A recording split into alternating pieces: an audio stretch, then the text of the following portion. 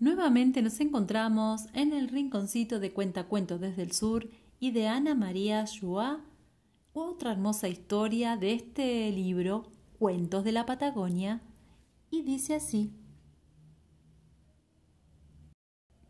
Guanaquito Blanco. Naku era un guanaco muy veloz y buen nadador.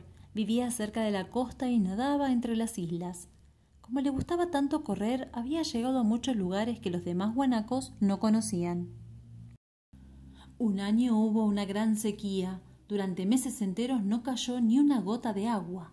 Los arroyos se secaron, la tierra se convirtió en polvo. Los guanacos estaban desesperados de sed. Ay, si estuviera con nosotros el gran guanaco blanco, decía la mamá de Naku. Él sí sabía qué hacer. Pero Naku sí sabía qué hacer. Había estado explorando la tierra en la que vivían y había encontrado agua. Eh, siguiendo derecho por el arroyo seco hasta el lugar donde empiezan las montañas, había un gran lago de agua dulce, rodeado de rico pasto verde y muchos árboles. Pero Naku era muy joven, casi un chico, y no podía convencer a los guanacos grandes de que lo siguieran. Tampoco las madres con sus hijos bebés se animaban a seguir a un guanaco con tan poca experiencia. Todos esperaban al famoso guanaco blanco, el príncipe de los guanacos.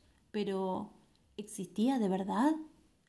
Por el momento era solamente un cuento que contaban las guanacas viejas. Un día corrió por aquí y por allá y Naku encontró una gran salina. Era un terreno muy grande, todo cubierto de blanquísima sal. Estaba endurecida en grandes pedazos. Naku la lamió un poco. Era rica, pero daba sed.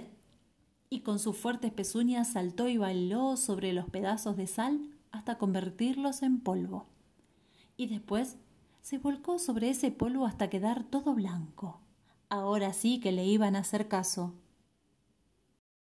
Cuando la manada vio que el famoso guanaco blanco existía de verdad, lo siguieron sin dudar. Él lo llevaría hasta el agua. Por las dudas, el guanaco blanco no se acercó demasiado para que no lo reconocieran. Siempre manteniendo la distancia, fue llevándolo a todos hasta el lago. ¡Ay, qué felicidad sintieron todos cuando pudieron beber hasta hartarse y comer pasto fresco! Entonces el guanaco blanco se tiró al agua y adivinen quién salió del lago, mojado y contento. Naku, el guanaquito, que se había lavado toda la sal.